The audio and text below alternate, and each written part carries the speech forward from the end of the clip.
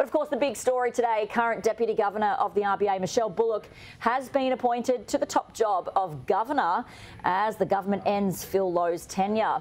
She'll be the first female governor at the RBA in history and will take on the role on September 18.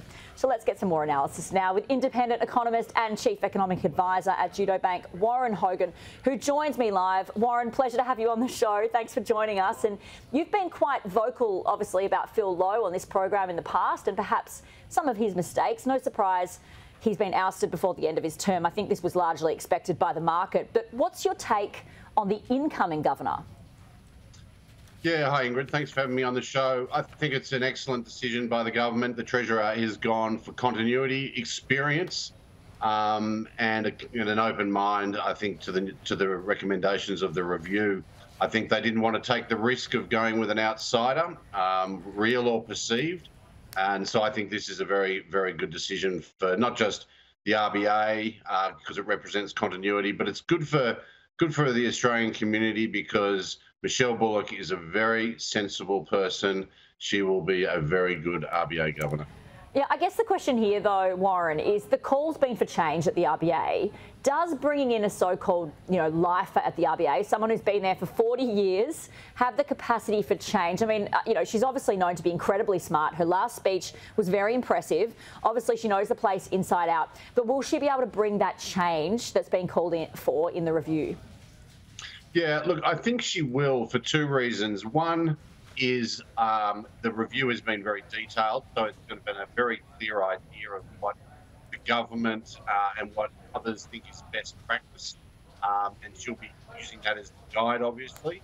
But the other one is is that when the, the errors that the RBA leadership made uh, in the last few years, she was sort of a senior observer. She wasn't sort of one of in, in one of the key roles of governor, deputy governor, or head of economics. Hmm. So I think she saw where the mistakes were. And of course, we should never forget that prior to the pandemic, the RBA was not only one of the finest public sector institutions in this country, but one of the hmm. finest central in the world. And she has seen how that's played out. So I think she's very well placed to, to look at where the mistakes were made, what drove hmm. them, uh, and, uh, and and make sure they don't happen again.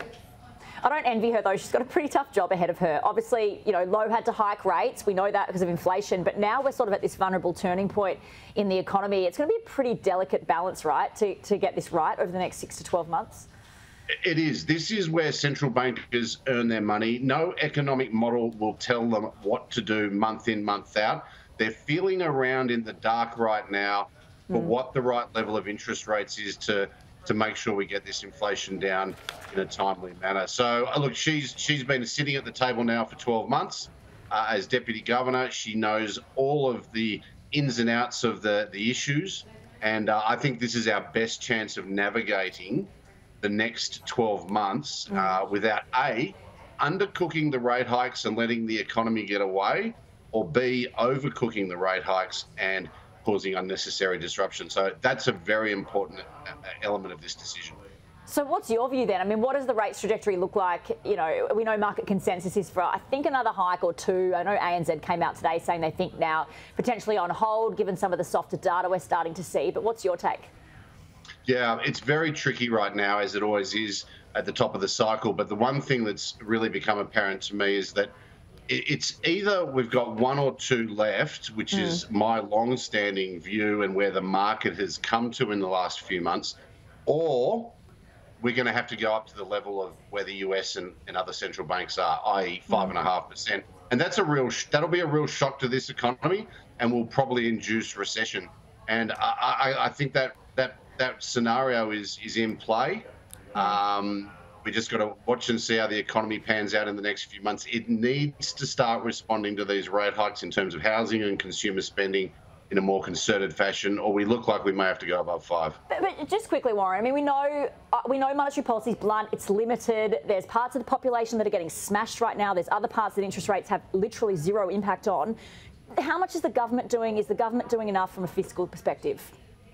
Look, I think if the if the economy starts to slow quite concertedly from here on in, and we see a peak in the cash rate around 4.35 uh, or where we are today, then I think the government's strategy to be very careful um, with fiscal policy, not tighten up, and of course to try and promote wages growth won't be viewed that negatively. But of course, if the mm. economy is really proving to be resilient and rates have to go above five, I think that's when it's going to realise the government has mm. underestimated this and should have done more. Warren Hogan, always a pleasure to talk. Thanks so much for joining us on this big day.